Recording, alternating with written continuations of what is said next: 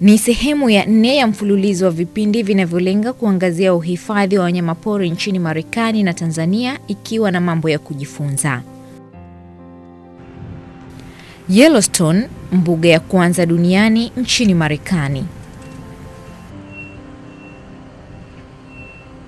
Mtazamaji, katika kipindi hiki bado tupo katika hifadhi ya Yellowstone na tunaendelea kupata mambo mengi juu ya uhifadhi wa wanyamapori nchini Marekani. Kumbuka tu hifadhi ya Yellowstone ni hifadhi ya kwanza duniani na ipo nchini Marekani. Hifadhi hii ilipitishwa rasmi na bunge la Marekani mnamo mwaka 1872. Brian Holmes ni askari wa wanyamapori msimamizi katika hifadhi hii ya Yellowstone. Yeye ni askari wa hifadhi anayelinda maeneo ya pembezoni mwa hifadhi, yaani maeneo ya mipaka mwa hifadhi backcountry, katika eneo la Mammoth. Bwana Holmes hufanya doria katika eneo lenye ukubwa wa ekari elfu tatu katika hifadhi husika. Kwa hakika ni eneo kubwa kulilinda, ukizingatia hufanya kazi hii ya lindo la hifadhi katika eneo husika peke yake. Swali la kwanza kwake ni je, nini tathmini ya hali ya uwindaji katika hifadhi hii ya Yellowstone? It, it varies from season to season. We have different hunting seasons that uh, there's no hunting allowed in Yellowstone. Tuna misimu mbalimbali ya uwindaji, lakini ndani ya hifadhi uwindaji hauruhusiwi uh, kabisa. Ni marufuku. Lakini nje ya mipaka ya hifadhi currently, we unafanyika. Watu wanaruhusiwa kuwinda, kwa mfano upande wa kaskazini mwa hifadhi ya Yellowstone inapakana na jimbo la uh, Montana. Watu huruhusiwa kuwinda na wanawinda katika kipindi hiki cha mwaka, yaani mwezi wa tisa, na wanawinda wanyama jamii ya paa na swala. Kwani katika kipindi hiki cha mwaka wanyama hutembea umbali kidogo nje ya hifadhi kutafuta malisho, uh, na mwisho wa siku hurudi ndani ya hifadhi kwa ajili ya kupumzika, ambayo ndiyo haswa makazi yao. Katika hali hiyo, kama wawindaji walikuwa katika mawindo na kujeruhi mmoja wa wanyama hawa, na mnyama huyo pamoja na kujeruhiwa akafanikiwa kurejea ndani ya hifadhi, basi ni lazima abaki ndani ya hifadhi, si ruksa kumfata ndani ya hifadhi, na huo ndio utaratibu.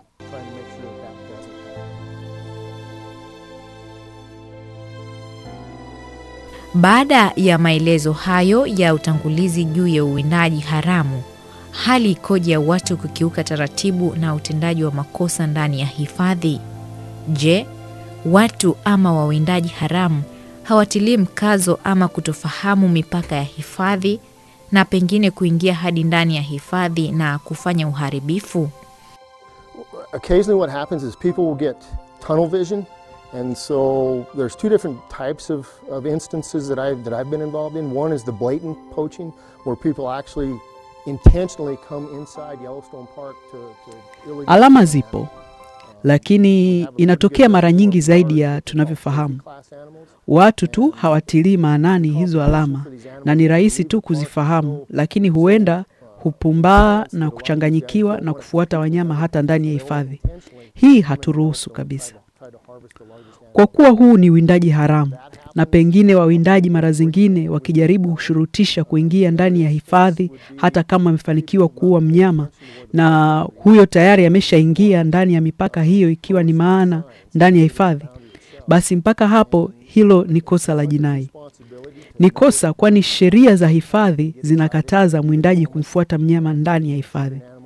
Hivyo akikamatwa katika mazingira kama hayo, mwindaji hufikishwa mbele ya vyombo vya sheria ambayo ni mahakama, na bahati nzuri mahakama hii ipo hapa hapa katika hifadhi hii ya Yellowstone, na itategemea kesi itakavyokwenda, na kama ni zaidi ya hapo, hata hukumu huweza kutolewa. Na mtuhumiwa huhukumiwa kifungo kabisa jela, na vilevile vile wakati mwingine hulipa fidia ama vyote kwa pamoja. Na pia aina za silaha ambazo hutumika na huruhusiwa katika uwindaji hapa ni upinde na mshale tu.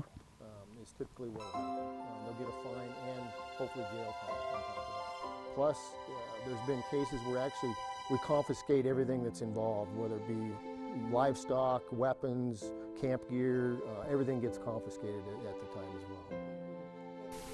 Ndugu Holmes ameshafika nchini Tanzania kujifunza na kujionea masuala mbalimbali ya uhifadhi wa wanyamapori, na hapa anaelezea hali ya tathmini ya uwindaji aliyoiona nchini Tanzania. I found there was most of the, the illegal activity that we encountered there was all subsistence type activity, people just trying to survive day to day.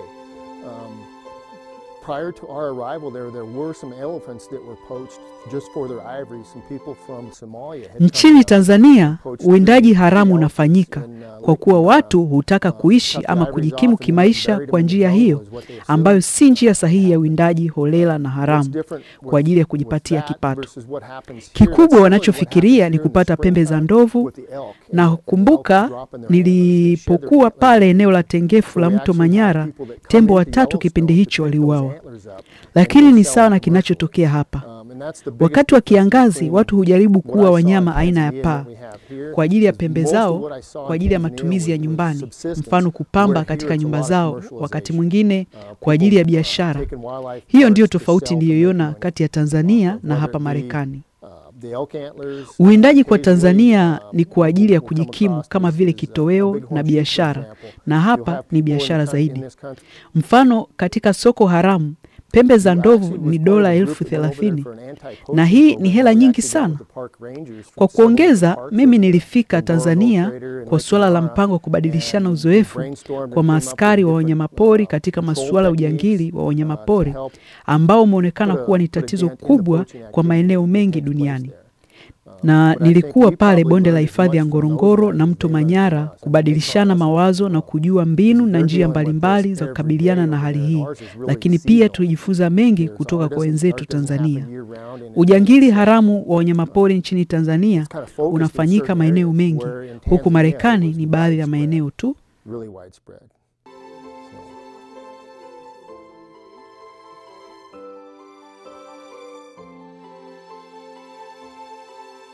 Je, madhara yapo kwa kiwango gani kwa maoni yake? Um, I have kept in touch loosely with a couple of the guys over there. They, uh, they're facing an uphill battle mainly because of funding sources and equipment needs. Um, and then the other thing Saa zingine majangili hufanya ujangili katika hali ya hatari zaidi na hufikia kiwango hata cha kuwaua maskari wa hifadhi, ambayo ni mashambulio mabaya kabisa. Kwa huku hilo halijawahi kujitokeza na halitoweza kujitokeza. Um. I mean, it does and can happen, but that's not something we typically encounter here. Right, this is one of those elk antlers I was describing earlier that the elk shed annually. Every year they grow. Ah, uh, hizi ni baadhi tu ya mali tulizoweza kuzikamata.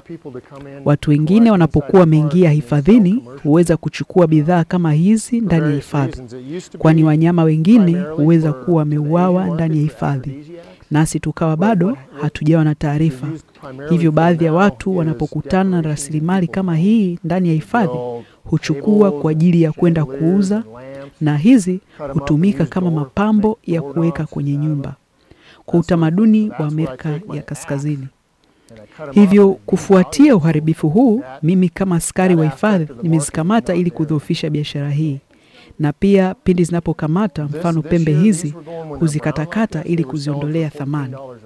Pembe hizi huuzwa kiasi cha dola kumi na tatu kwa kilo, na hiyo yote kwa ujumla huweza kuwa kama kilo nane au tisa. Hili fuvu la nyati ni kama dola mia tano na nyati hawa hupatikana hapa.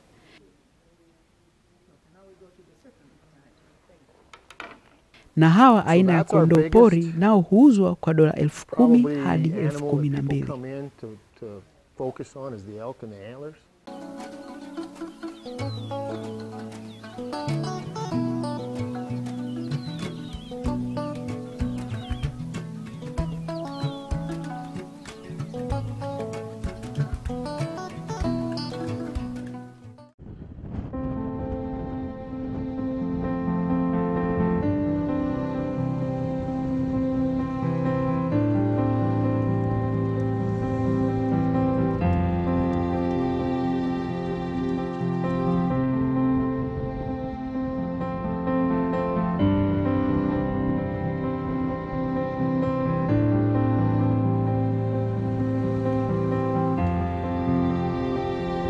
Mtazamaji, bado tupo katika hifadhi ya Yellowstone katika jimbo la Wyoming nchini Marekani.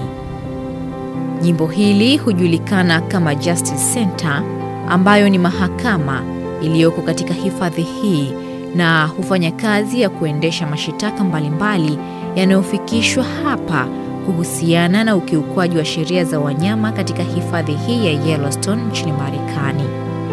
Uwepo wa mahakama hii ni suala jema kabisa, yote ikiwa ni kufanya wanyamapori kuwa na haki thabiti ya kuweza kuishi katika maeneo yao tengefu bila bugudha na hivyo kuwa urithi wa kizazi kijacho. Kwa kiasi kikubwa hali hii inashangaza, lakini hii ndiyo hasa hifadhi yenye mahakama ndani ya hifadhi, na si hifadhi zote nchini Marekani zina mahakama ndani ya hifadhi, lakini pongezi kubwa kwa kufikia hatua hii. Mahakama hii imeanzishwa na hifadhi yenyewe na inaendeshwa na idara ya haki kufuatia sheria ya hifadhi ya Yellowstone kwa lengo la kuharakisha hatua za uendeshaji wa kesi na ulipaji wa fidia.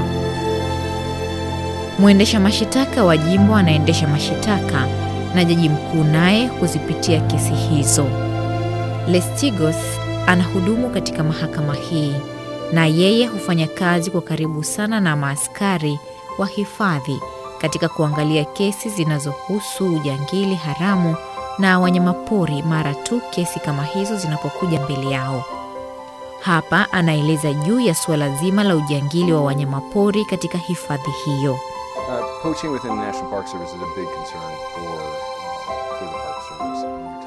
Suala la ujangili ni suala ambalo linatizamwa sana na hifadhi hii. uh. Wanyama ni kipaumbele chetu, Uh, na hatuwezi kuruhusu kuwindwa kwa njia haramu, nikiwa na maana kuruhusu uwindaji haramu kwa ujumla. Tuna mawakala wengi na kuna maeneo ambako ujangili haramu na uwindaji haramu hufanyika. Uh, mfano dubu weusi black bears au hata uoto wa asili wowote unaochukuliwa ndani ya hifadhi hizo, ndiyo hasa kesi hizo tunazoshughulikia.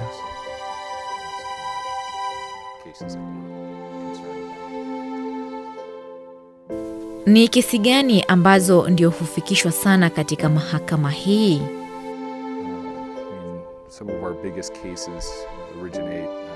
Kesi zilizo nyingi zinajitokeza hapa ni uwindaji haramu, kutumia silaha kama gobole katika hifadhi ambayo hayaruhusiwi. Hivi karibuni mtu mmoja katika hifadhi ile ya Grand titan kilomita kadhaa kutoka hapa, aliua bufalo mmoja, na katika uchunguzi iligundulika kuwa na askari mmoja wa hifadhi naye alihusika. Wote tuliwafungulia mashtaka.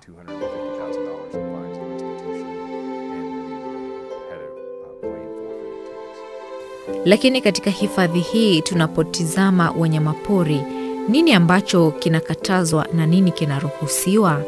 Well, it depends on each national park uh,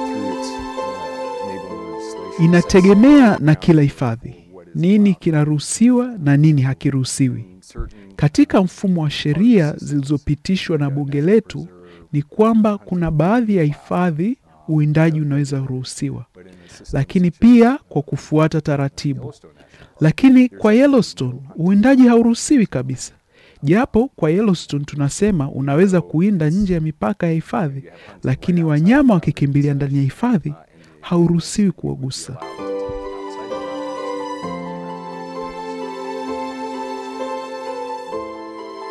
Vipi kuhusu taratibu za kupata leseni ya uwindaji?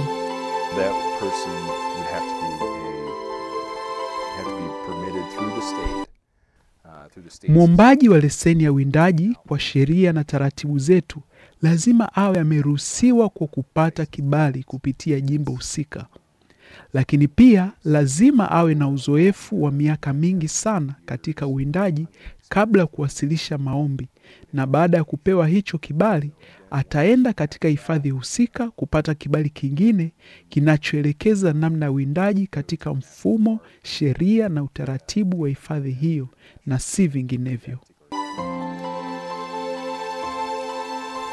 Na shauku pia ya kufahamu, je, Marekani, nini hasa sababu ya watu kuwinda?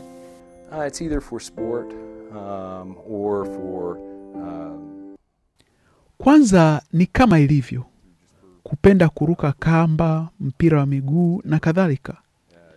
Kwa ajili ya mahitaji ya chakula, kuna tofauti na kuna mahali uwindaji ni asili ama utamaduni wa jamii husika, ni sehemu ya maisha yao.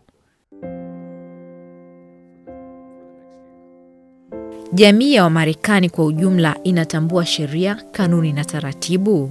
So that is actual uh, a federal court within uh, Yellowstone National Ndiyo, watu hutambua na huelewa sana na kufuata, lakini katika watu wengine wapo na wale ambao wao wanajifikiria wao tu na kuwa na tamaa ya kutengeneza faida kwa ajili yao tu kupitia rasilimali za hifadhi.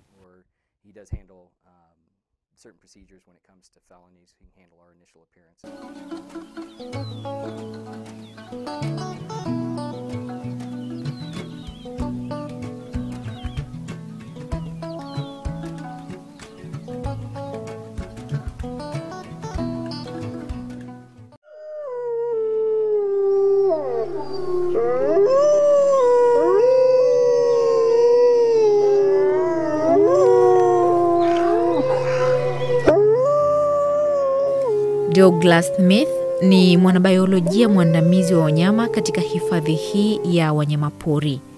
Kama mwanabiolojia, anaelezea mafanikio ya kurejeshwa tena viumbe aina ya mnyama kama mbwa mwitu ambao walikuwa wameanza kutoweka miaka hiyo ya nyuma. wolves back because they were extirpated. Um, it's a very interesting story about the U.S. government, and that Yellowstone, we're very proud, is the world's first. Tulirudisha tena hawa mbwa mwitu, na hakika ni hadithi inayofurahisha sana kwa serikali ya Marekani na hifadhi ya Yellowstone, na ni kitu cha kujivunia kupitia wakala wa serikali wa huduma za rasilimali za baharini na wanyamapori iliyofanya kitu cha maana mwaka 1872 na sera wakati huo na uelewa wakati ule ulikuwa bado. Kwa hiyo wanyama wakali wa jamii ya mbwa mwitu wakati huo waliuawa kwa sababu walionekana kuingilia himaya za binadamu. Wanyama wakali waliobaki wakati huo walikuwa ni dubu weusi na mbwa mwitu wa mwisho waliuawa mwaka 1926 na hiyo kupelekea wanyama hawa kutoweka na kusababisha mtazamo na sera za Marekani kubadilika. Na mwaka 1973 tukaja na sheria ya wanyama wanaotishia kutoweka na mbwa mwitu kuingizwa katika orodha ya wanyama hao mwaka 1974 na hiyo ikatoa muda wa miaka ishirini kurudisha wanyama hao hapa Yellowstone, na hivyo sisi tuliwafuata hawa pale Canada walipokimbilia na kuwarejesha, na tulirejesha mbwa mwitu 41 tu, na leo tuna mbwa mwitu laki tano elfu hamsini na tukawa na uhakika wa usalama wa mbwa mwitu hao, japo ile hali ya chuki ya wanyama hawa bado ipo, sema tu imepungua, na ni dhana potofu sana.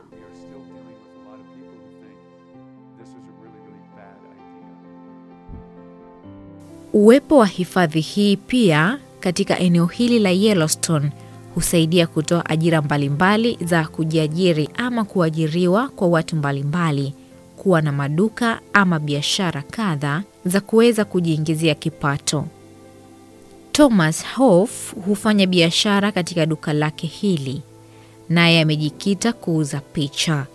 Picha hizi hupiga mwenyewe kwani yeye ni mzoefu wa upigaji picha mbalimbali katika hifadhi hii ya Yellowstone kwa muda wa miaka 30 sasa.